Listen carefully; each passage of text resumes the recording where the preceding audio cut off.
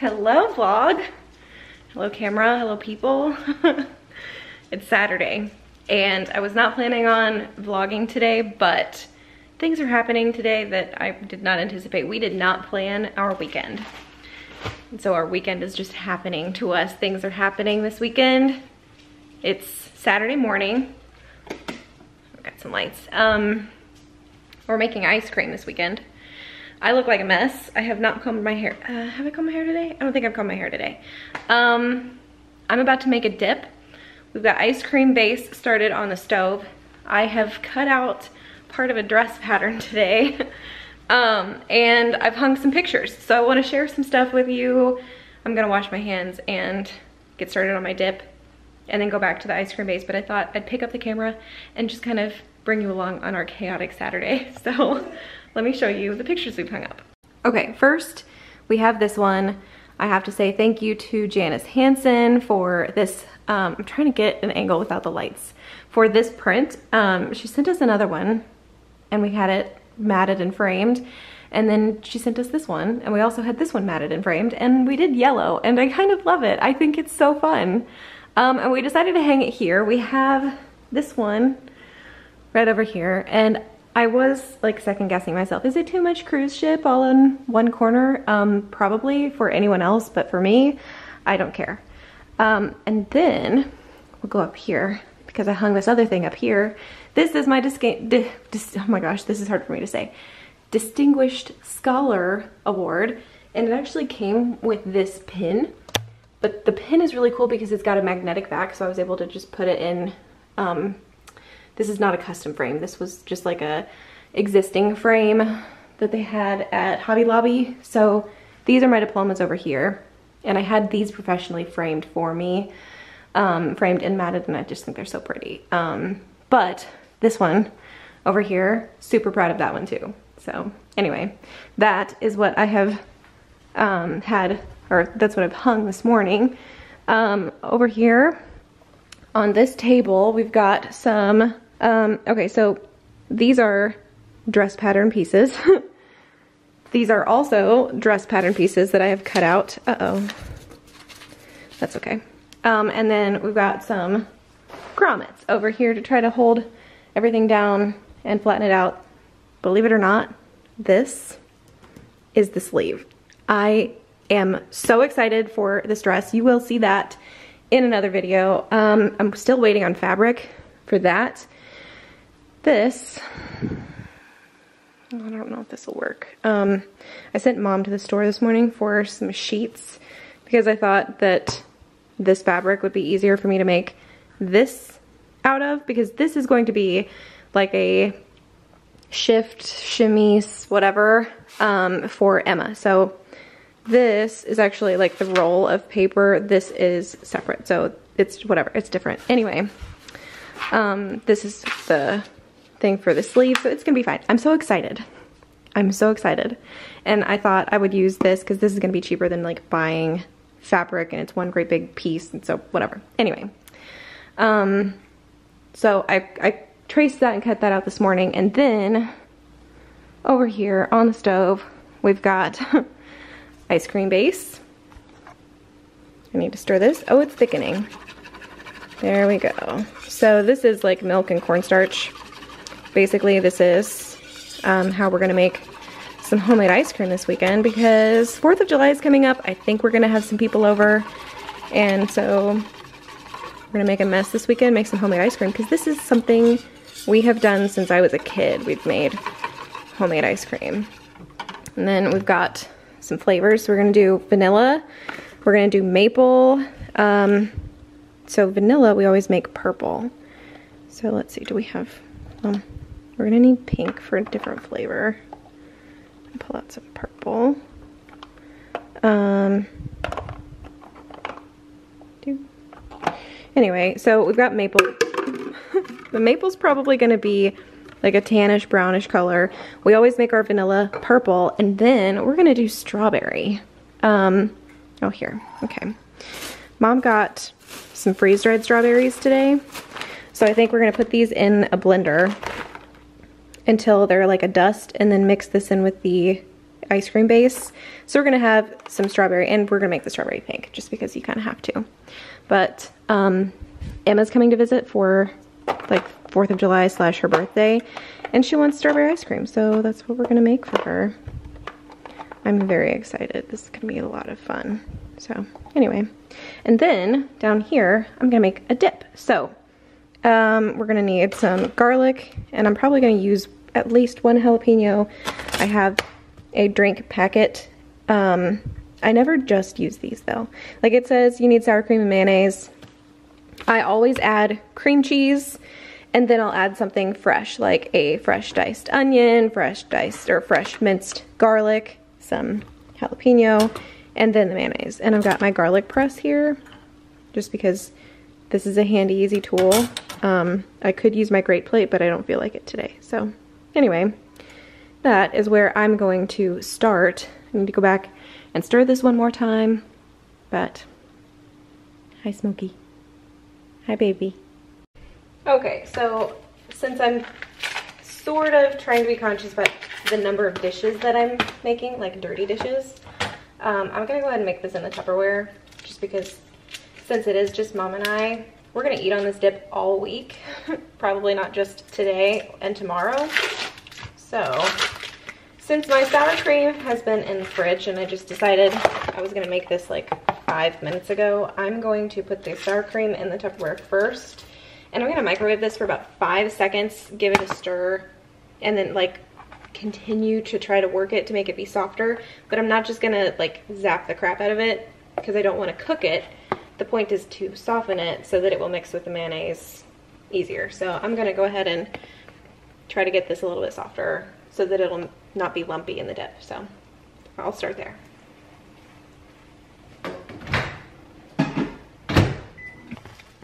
Okay, essentially you want this to be like a spreadable consistency just because you don't want it to be lumpy in your dip and I'm there.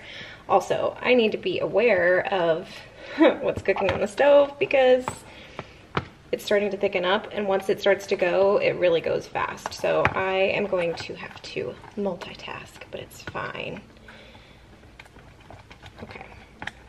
So once that's fairly smooth we'll move on and we'll add the mayonnaise to this. Okay actually I've changed my mind. I'm gonna add the mix the packet first because um, and this is a trick I have. I like to add powders first, like as early as I can, because I think it helps actually thoroughly combine this. So if I mix this in last, it might not get mixed in completely. But if I mix it in now, before I add anything else, then I know it's gonna be completely mixed in. So it's gonna mix in better. So I'm gonna start here with this. So this is just the cream cheese and the dip mix.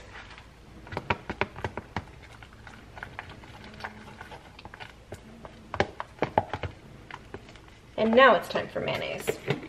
And this is one cup of sour cream and one cup of mayonnaise. We don't have any sour cream yet. Mom's at the store. So, and this is basically empty. There's like maybe two tablespoons in here. That's all that's in there. okay, so time to open up the other one. Let me just use my cream cheese wrapper. Okay, and I always eyeball dip measurements. Like, does anybody ever, ever actually like accurately measure this stuff? Because I just look at it and I'm like, mm, yeah, that's enough. And another dip hack slash trick I have is to start your dip early. So if you're gonna want it for lunch tomorrow, or like picnic or whatever, I say lunch, whatever. If you're gonna wanna eat this tomorrow afternoon, make it the night before. Let it sit overnight, or at least make it early in the morning so that you'll have time, or so that it will have time to sit and rest because dips get better with time. They really need some time to like wake up and get happy. I'm gonna do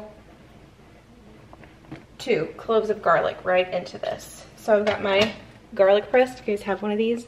Because it's like um, can opener style type of thing, but like you put your clove of garlic in here like this. Okay, here's the garlic press. So you put your clove of garlic inside like that, and then you just kind of tilt the thing down and you squeeze. Woo. It's sort of messy, but if you do it right, you get like pressed garlic through these holes down here. And it's so nice because it's that easy. You don't have to rub it on a plate. And you don't have to do a whole lot of like knife work to mince it up. But it's fresh garlic. So that's two cloves of garlic right in, just because I like to doctor up my dips a little. And then next, I'm gonna dice up a jalapeno. And I'm not gonna add any seeds or ribs, it's just gonna be the outside. And I might not even do the whole thing. I don't know, we'll see. Okay, that ice cream base is really starting to go. So I need to get on with this. In fact, I'm only gonna do half of this. I don't wanna do the whole thing. Since it's gonna sit in there for a while, I don't know how hot these jalapenos are, but they smell hot. And I know that they're gonna sit in that dip for a while and just kind of leach out all their spicy into the dip. So I don't wanna, I don't, I really don't want it to be too spicy from the get-go. I want it to be able to build because, I mean, I'm not gonna take this jalapeno out once it goes in. And I'm gonna try to dice this up as teeny tiny as I can. It doesn't have to be pretty because it is going in a dip. So now we're just waiting for the sour cream to get here. So in the meantime, this is gonna go in the refrigerator. I'm gonna wash my hands and continue to stir the ice cream base. I just realized you're out of focus. I'm sure you don't care. Anyway, see you in a few minutes. The Triumphant has returned with sour cream and this, I guess, was a journey to find more cornstarch. Um, yeah, three stores. So um, I didn't show you, but this is thickened. So this is what we're looking for. I've heated up our queso. We have chips. I've heated up some chicken tenders. I gave our evaporated milk a shake. But now I'm ready to put some sour cream in our dip. Yum. Hi there. It is Sunday. I almost said Thursday. I don't know why Thursday wanted to come out. It is not Thursday, it's Sunday. I didn't vlog anything else yesterday. Um, we had a really great night. We've been watching Food Network Star on Discovery Plus, like old, old seasons. Why? I have no idea, but we just watched Jeff Mauro win. So that's fun. I have been getting ready to cut out a dress pattern thing. Um, this morning, um, actually it's 10:18 in the morning and we're getting ready to actually start freezing some ice cream. Can I put you here? I can, okay, so you're sitting on top of an ice cream freezer canister. That's not clean. Um, and I'm getting ready to put some freeze-dried strawberries in the blender to crush them into dust. But this is dirty, I need to wash this. We don't need these, so this job just got a little bit harder. Whatever, it's fine. So I'm, I don't know, maybe, maybe you don't care, but if you care about like how we make our homemade ice cream and recipe and like a how-to video.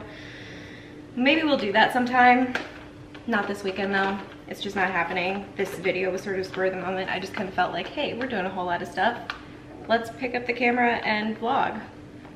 I don't even know if you'll see this video. If you see this video, it's because it actually turned into something that I thought was worth sharing. Um, I'm trying to get this thing actually dry because um, like if I was making something wet in the blender, I wouldn't worry about drying it off so well.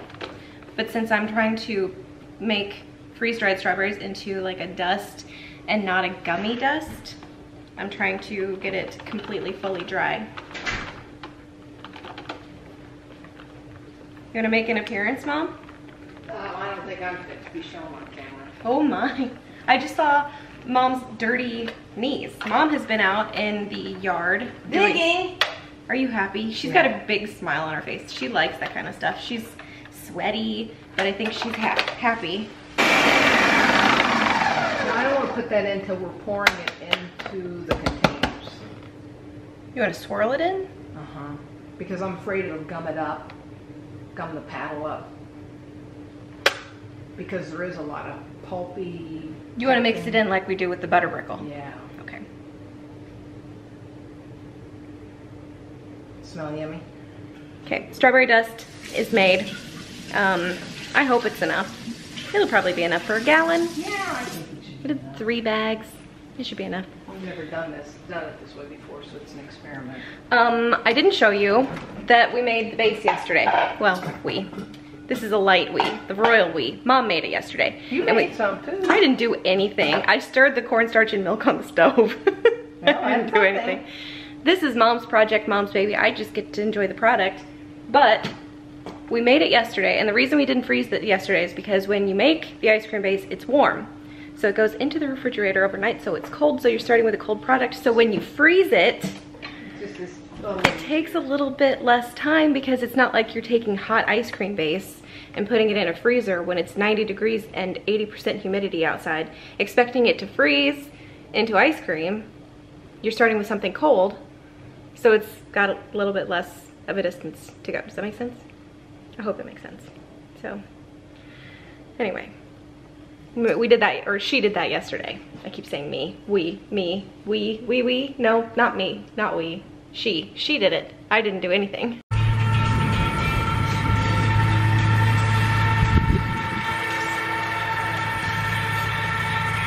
It is now one o'clock in the afternoon, I think, a little bit after one, 1.10 in the afternoon. And I have been pinning the dress pattern um, to my fabric. Dishes are washed. We have four gallons of ice cream made and put into containers in the freezer. And now it is pool time. But first, I wanted to share with you some wine because it sounds a little bit scary, but it's actually really, really special. Found this in Kansas City, um, gosh, last year or the year before, but at the Lukas Wine Spirits liquor store, whatever. Um, it's a Hatch red chili wine. Sounds terrifying. I opened it the other night because we were having like our taco night. Not tacos, but we were, we were having like a Mexican night. We did queso Friday night. Did I? I don't think I vlogged anything Friday night. Um, but we made queso, we made chori pollo, we had like chips and salsa and it was very good. Um, we even made guacamole. Um, but I opened this because I thought this would go with it. And it's a red wine, but it's sort of sweet and it is not spicy. It's peppery. You can taste that it's like a fresh pepper, but it's not spicy. It's just like fresh and sort of summery. So I just wanted to share this. Um, yeah, I don't even know where um, New Mexico is where it was made. Produced and bottled by Southwest Wines in Deming, New Mexico, which is cool. Um, so anyway, I wanted to share that with you in case you were interested. I don't know, I'm gonna have some wine out by the pool um, and maybe I'll pick you guys up in a bit. We'll see, I don't know. Okay folks, I don't have a whole lot else to show you today. So I think I'm just gonna show you our freezer full of ice cream and then that's gonna be it for today. So let's look at the freezer for a second because I'm really impressed by this. Okay, so we have a little bit of ice cream, homemade ice cream left over from last year. So this is mint, I think that one might be maple. Um, I think that's vanilla, I'm not sure.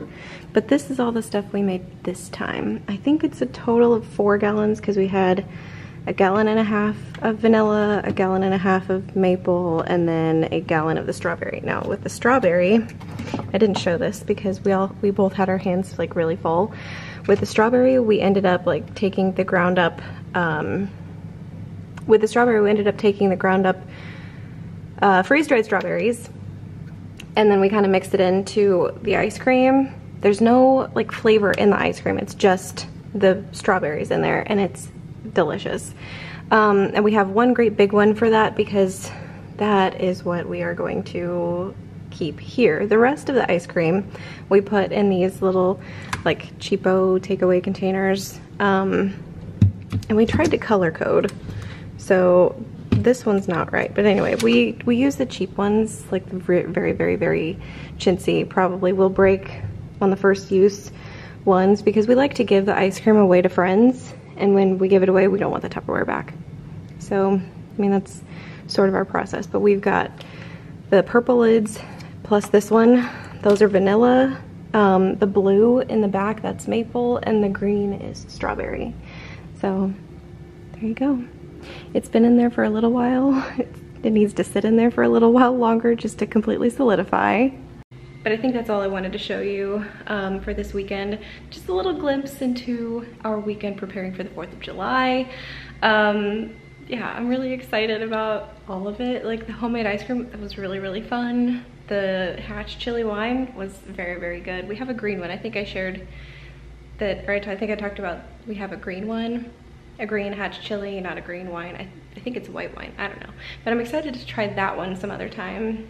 Um, yeah, anyway, that's all I wanted to share. So that's just a glimpse into our weekend. You guys will see us in another video really soon. Bye.